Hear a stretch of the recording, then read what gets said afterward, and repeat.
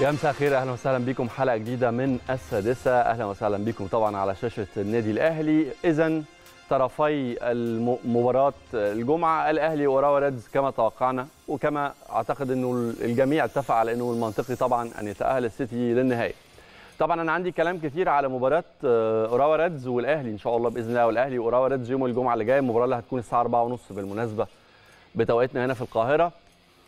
وهتكلم ويمكن فريق وراوا ريدز أو الكرة في في آسيا بالنسبة لنا تتلخص في منطقة الخليج. يعني ما بنعديش تقريبا الخليج العربي. الدوري الإماراتي الدوري القطري الدوري السعودي الدوري الدوريات العربية عموما يعني.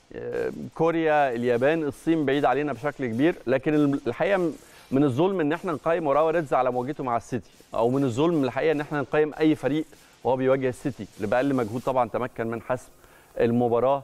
بنتيجة 3-0 لكن هقف مع أوراوا ريدز النهارده الحلقة بشكل كبير جدا وهنعدي كمان على نتائج دوري الأبطال لأنه جد في الأمور أمور. لكن الحقيقة عايز في البداية تسمحوا لي كلها واقفة مع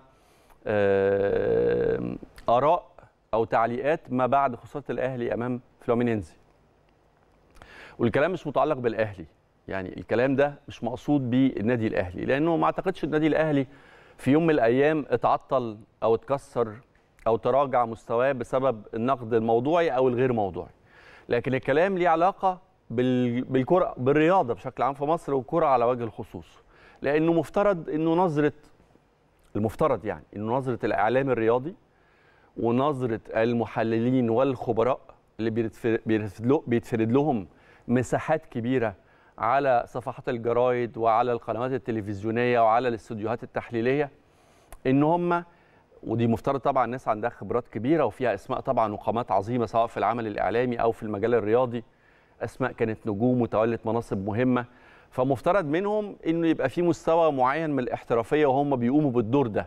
لأنه دور مهم جدا وبناء جدا. إذا كنا عايزين الكورة في مصر بشكل خاص والرياضة في مصر. بشكل عام تتقدم يبقى لازم نبص للاعلام الرياضي.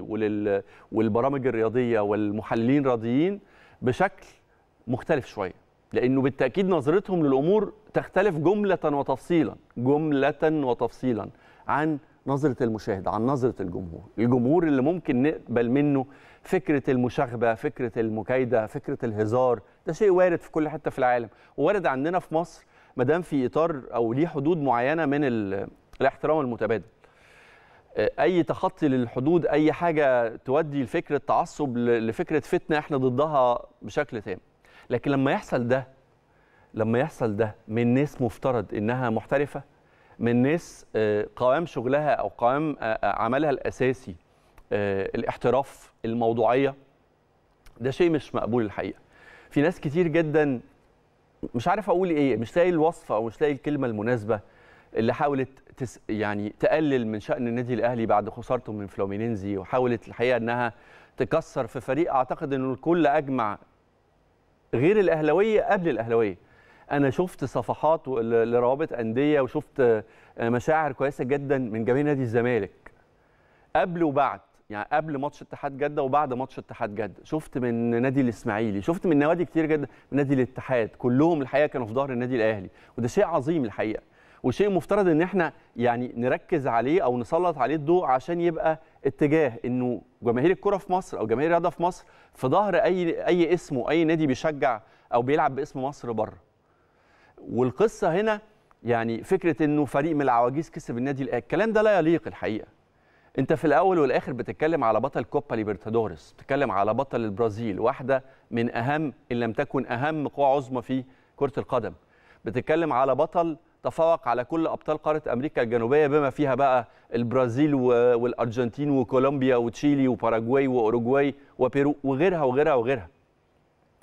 فأنت بتتكلم على فريق محترم، كون الأهلي الحقيقة كون الأهلي أظهره بالشكل ده كون الأهلي كان أكتر من ند بل إنه تفوق في أوقات كتير جدا في, في من أوقات المباراة.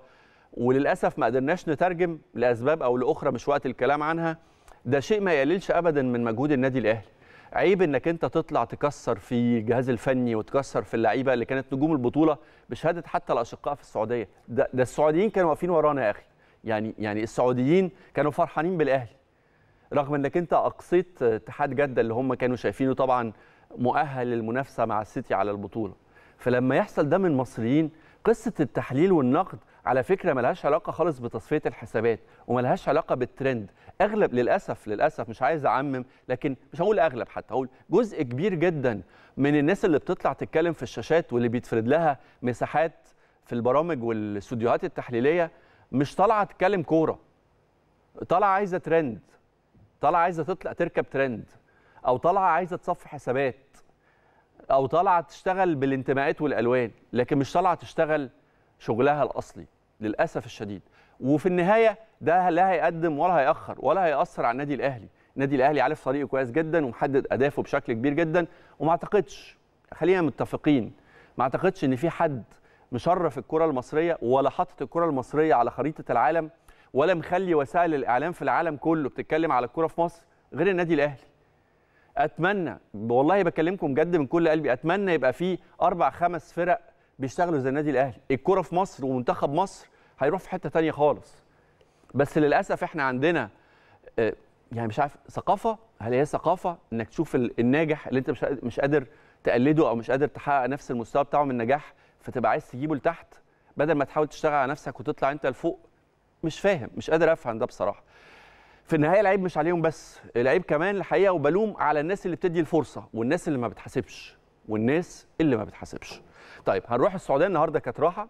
طبعا أنا شفت آه، آه، ماتش آه، السيتي اوراوا ريدز.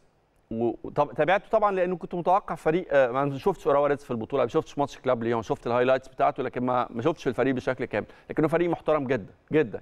يعني لو بتتكلم على الجيل ده على الفريق بتاع النادي الأهلي خد برونزيتين قبل كده مرة على حساب بالميراس ومرة على حساب الهلال. الاثنين كورة والاثنين فنيات أعلى بكتير من أوراوا ريدز لكن ده ما يخليكش ابدا تتوقع إنه مباراة يوم الجمعة سهلة. فريق منظم جدا منضبط جدا كان واقف على رجله لغاية ما يستقبل أول هدف طبعا في شباكه وبالمناسبه كان own goal طبعا السيتي بيلعب على قد يعني طبعا السيتي اللي إحنا شفناه امبارح مش هو السيتي اللي بيلعب في البريمير ليج هو بيلعب بأقل مجهود ممكن لأنه عارف إنه عنده مباراة. مباراة نهائي يوم الجمعة فيعني خلصنا بأقل مجهود ممكن. لكن في النهاية ماتش الجمعة لن يكون سهل على الإطلاق والنهاردة اللي هحاول أركز عليه زي ما قلت لكم عندنا أفضلية الراحة يوم زيادة.